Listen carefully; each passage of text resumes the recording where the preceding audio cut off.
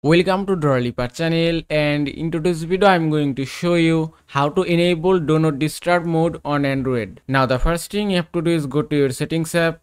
Now from here scroll down a bit then go to notifications. From here go to do not disturb.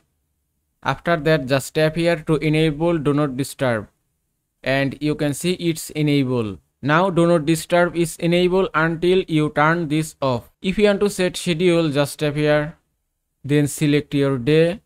Then tap on set time. From here set your start time.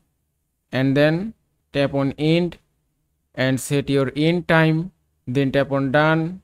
Then tap on save and it's done. Now do not disturb. Will be enabled at 10 pm and will be disabled again at 7 am also if you want to hide notifications just tap here now just enable this option to hide all notification. And that's it. And that is how you can enable do not disturb mode on android. I hope this video was helpful. If it was please give it a thumbs up and don't forget to subscribe